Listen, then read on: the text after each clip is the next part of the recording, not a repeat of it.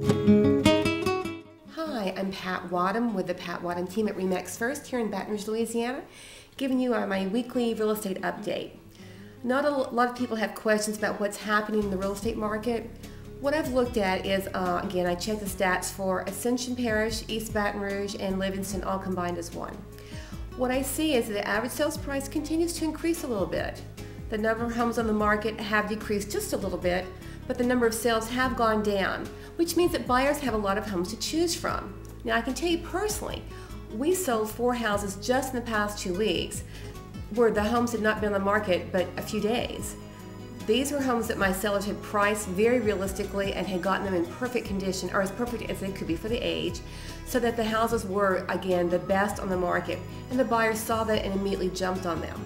We have other buyers out there who are taking their time to look at lots of homes, hoping a better deal comes by, and yet they have found already the home they want, but they're afraid to make that commitment for fear that another house is going to come along.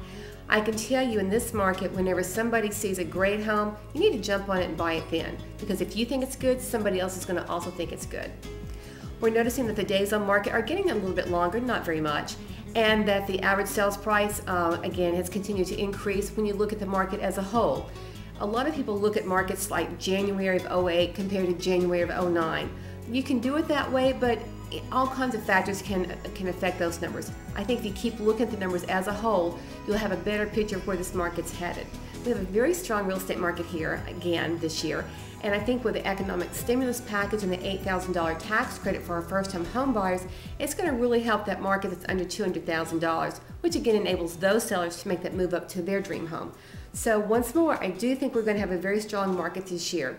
Keep posted. I will keep posting the stats for you here so that you can stay abreast of what's happening in our market.